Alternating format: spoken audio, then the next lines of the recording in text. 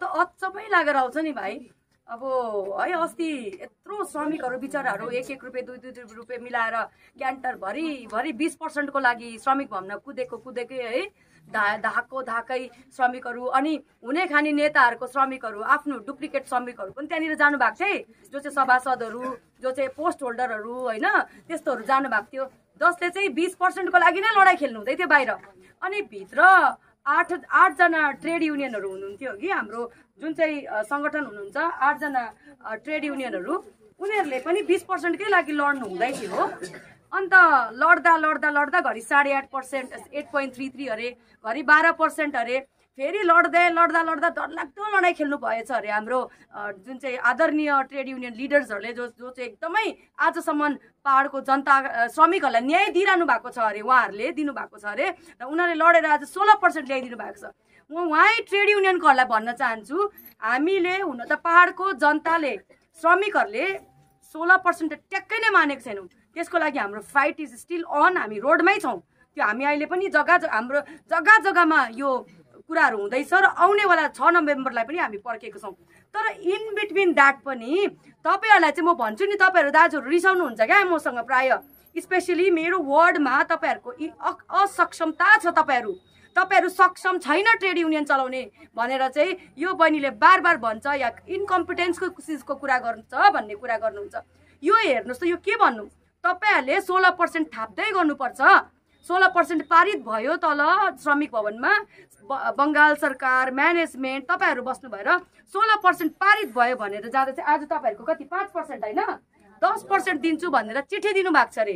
ती मध्ये पाँच पर्सेन्ट चाहिँ हालिदिनु भएको छ अरे। अझै पाँच पर्सेन्ट त कता हो कता? र त्यो सोह्र पर्सेन्ट चाहिँ तपाईँहरूले दस दस हालिदिनु भएन दस हाल इन्स्टलमेन्ट गरेर र तपाईँहरूले नै तपाईँहरूकै मुखबाट तपाईँहरूकै मुखार बिन्दुबाट सोह्र पर्सेन्ट चाहिँ हामीले गरेर ल्याएको भनेको त यहाँ छैन त। र आज तपाईँहरू त धर्ना बस्नु भएको यो रिले अनसन बस्नु भएको कति दिन भयो? तिन दिन त भयो होइन? तिन दिनमा तपाईँहरूको एकजनाको पनि यहाँनिर अनुहार देखिएको छैन। तपाईँहरू यसको लागि जिम्मेवारी हुनुहुन्छ। जो ट्रेड युनियन चाहिँ भित्र बसेर फैसला गर्नुभयो फैसला गरेर सोह्र पर्सेन्ट तपाईँहरूले निकाल्नु भयो आज उनीहरूलाई दुईवटा इन्स्टलमेन्ट गरेर दस पर्सेन्ट दिइरहेको छ। सोह्र पर्सेन्ट पनि पुरा भएको छैन। यसमा चाहिँ तपाईँहरूको कम्पिटेन्सिस चाहिँ कहाँबाट ल्याउनुहुन्छ? म यो तपाईँहरूलाई प्रश्न गर्न चाहन्छु। अनि यसको लागि तपाईँहरूलाई प्रश्न किन तपाईँहरूले कार्यवाही गर्नु पऱ्यो नि त्यसको लागि त? म्यानेजर भाग्नु भयो यहाँनिर म्यानेजरले यस्तो काम गरेर यहाँबाट भाग्नु भयो तपाईँले कहाँनिर होल्ड गर्नुभयो? कहाँनिर न्याप गर्नुभयो? तपाईँको त्यो ट्राइपाइटेड मिटिङको पोटेन्सियल खै? तपाईँको त्यो ट्राइपाइटेड मिटिङ भनेको त त्यसै हो। यहाँनिर तपाईँहरूले अस्ति हिजो मात्रै म नाम लिएरै भन्छु हतपत म नाम लिँदिनँ। हाम्रो आदरणीय ट्रेड युनियनका दाजु सुरज सुब्बा दाजु। सुरज सुब्बा दाजुले एउटा प्रेस कन्फरेन्सै गर्नुभएको थियो। जसमा चाहिँ हाम्रो एचपिइयु जो चाहिँ रेजिस्टर्ड ट्रेड युनियन अलरेडी हो तपाईँहरूलाई त थाहा छैन होला सायद बङ्गाल सरकारको कुटनीतिले चाहिँ उहाँहरूलाई चाहिँ भित्र पस्नु दिएन। तर तपाईँहरूले दयामाया गरेर उहाँलाई भित्र लानुभएको थियो र तपाईँहरूको त्यहाँनिर बसेर कति घन्टामा पनि तपाईँहरूको निर्णय नआउँदा तपाईँहरू मालिकको सामने बोल्नु नसक्दा होइन? उन उनीहरू मात्रै बोलेको बोलेकै लसको मात्रै कुरा गर्दा बिस पर्सेन्टको कुरा नगर्दाखेरि चाहिँ उहाँले चाहिँ अलिकति अब श्रमिक हो ट्रेड युनियनको यहाँ कुरा पनि हुँदै थियो। श्रमिक चाहिँ किन जाँदैन त्यहाँ नेगोसिएट गर्नु रिकन्साइल गर्नु युनियनबाट पनि भन्ने कुरा पनि यहाँनिर आएको छ। र उहाँ त एउटा श्रमिक हो उहाँले त बिहान बेलुकै त्यो पत्ती टिप्नु भएको छ। बिहान बेलुकै उहाँले त खट्टी खानु भएको छ। उहाँलाई त उहाँको दुःख व्यवस्था थाहा छ। र उहाँले बोल्नु बोल्नु भएर उहाँले चाहिँ तप बो बोलेर चाहिँ भन्नुभयो कि बिस पर्सेन्टको कुरा गर्नुहुन्छ भने ढङ्गले गर्नुहोस् यताउतिको कुरा गर्नु हुँदैन भनेर उहाँले प्रोटेस्ट गर्दा चाहिँ तपाईँले उहाँ म्याडम म्याडम भनेर उहाँ म्याडम होइन उहाँ श्रमिक हो हाम्रो चेली हो पाहाडको हाम्रो हाम्रो चेली बेटी हो हाम्रो दिदी बहिनी हो उहाँ बुझ्नुभयो? तपाईँले म्याडम भनेर एकदम हाई लेभल रेस्पेक्ट गरेर उहाँको बदनाम गर्नुभयो मुख छाड्यो अपशब्द बोल्यो अभद्र टिप्पणीहरू गर्यो म बोल्नु सक्यो त्यो मलाई ट्याक्कै नै पचेन। तपाईँको त्यो तपाईँहरूलाई त हामीले तपाईँहरूले के बोल्नु हुँदैछ कसो गर्नु हुँदैछ हामी एभ्री डे फलो गर्दैछु। र मैले तपाईँको त्यो फुटेज हेर्दाखेरि चाहिँ मलाई ट्याक्कै नै तपाईँको कुरा चित्त परेन। तपाईँले आफ्नो एउटा चेली जो चाहिँ श्रमिक हो र ट्रेड युनियनलाई रिप्रेजेन्ट गरेर तपाईँहरूसँग मिटिङ बस्दाखेरि चाहिँ तिमीहरू चुप लागेर बस्नु तिमीहरू बोल्नु पाउँदैन भनेर तपाईँले निर्देश दिनुभएपछि चाहिँ उहाँले तपाईँको त्यो निर्देशलाई चाहिँ ओभरक्रस गरेर अगाडि आएर बोल्दा चाहिँ तपाईँहरूले चाहिँ अभद्र टिप्पणी गर्यो। अपशब्द गर्यो। यस्तो प्रकारको कुरा हुँदैन। ट्रेड युनियनमा रिकन्साइल गर्नुपर्छ नेगोसिएसन गर्नुपर्छ। तपाईँहरूलाई नेगोसिएसन गर्नु पठाएको त यत्तिका साल भइसक्यो त। किन आज श्रमिक बिचमा आउनु पर्यो? र तपाईँहरूले त्यस्तो प्रकारको प्रेस मार्फत तपाईँहरू एउटा पोर्टफोलियोमा बसेर त्यहाँनिर एउटा रिप्रेजेन्टेटिभ भएर कुनै पनि ट्रेड युनियनलाई रिप्रेजेन्ट गर्नु हुँदैछ भने तपाईँको पार्टीको नेताहरूलाई पनि भन्छु। तपाईँको पार्टीको रिप्रेजेन्टेटिभहरूलाई पनि भन्छु। के यो ठिक हो? बङ्गालको अगाडि म्यानेजमेन्टको अगाडि आफ्नै श्रमिकको ब्याकबाइटिङ गर्नु आफ्नै श्रमिकले यस्तो गर्यो उस्तो गर्यो भनेर लान्छा नलाउनु यो के बङ्गाल सरकारलाई टेवा दिएको होइन? तपाईँहरूले श्रमिकहरूलाई उग्र बनाउनुमा प्रुफ गर्नु भएको होइन? मलाई लाग्छ त्यो सिचुएसनमा त्यो भित्र म त थिइनँ अघि तर जति पनि सक्षम व्यक्तिहरू छन् सोच्ने दिमाग भएको व्यक्तिहरू छन् पहाडमा एउटा नेपाली चेलीले त्यत्रो डरलाग्दो त्यहाँनिर म्यानेजमेन्टको मिटिङ हुँदाखेरि अभद्र शब्द चाहिँ ट्याक्कै नै गर्नु भएन होला।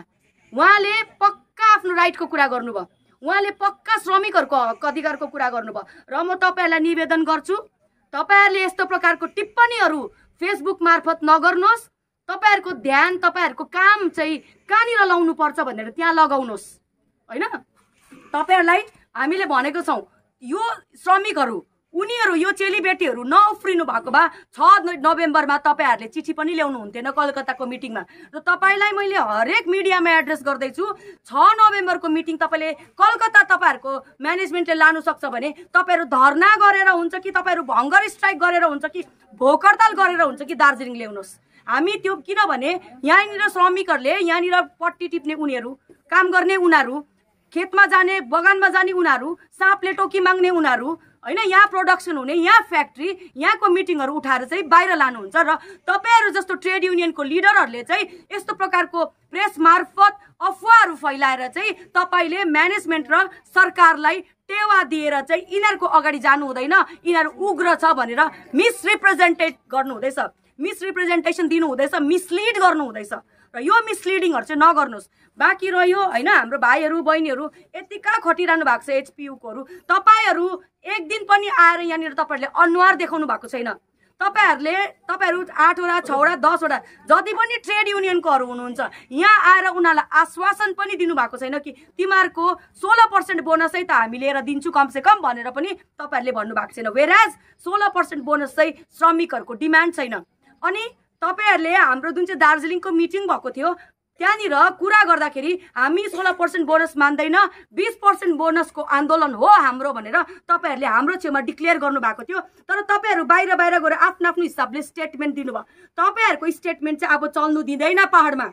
र यो छ नोभेम्बरको लागि चाहिँ हामी आउनेवाला समयमा चिया सुरक्षा समितिले पनि घोर तपाईँहरूको यो विषयको कलकत्ता जानेको विरोध गर्दै तपाईँहरूलाई निवेदन गर्दै दार्जिलिङमा ल्याउनु भन्ने अनि आइन्दा फ्युचर किनभने अहिले हामीलाई लाग्यो दार्जिलिङमा अशान्ति छ। सबैजना श्रमिक हुनुहुन्न। बजारमा बस्नुहुन्छ बस्तीमा बस्नुहुन्छ बस्नुहुन्छ। तपाईँहरूलाई हामीले डिस्टर्बेन्स गर्न चाहँदैन। तपाईँहरू बाहिरबाट त हाम्रो भाइ बहिनीहरू तपाईँहरूको शाखा सन्तान बाहिरबाट आउनुहुन्छ रोड ब्लकेट गऱ्यो भने तपाईँहरूलाई प्रब्लम हुन्छ। यहाँबाट बाहिर जानु पर्यो एउटा चाडबाडको टाइममा हामी टेन्सन दिनु चाहँदैन। तर नोभेम्बरको टाइम चाहिँ छुट्टीको टाइम हुँदैछ। स्कुलहरू पनि बन्द हुने समय आउँदैछ। दसैँ तिहार पनि खतम हुन्छ। सबै कुरो यहाँनिर खतम हुन्छ। त्यति बेला चाहिँ यो आन्दोलनलाई चाहिँ अझै तीव्र गतिले चाहिँ श्रमिकहरूले लानेछ भनेर म तपाईँहरूलाई भन्छु।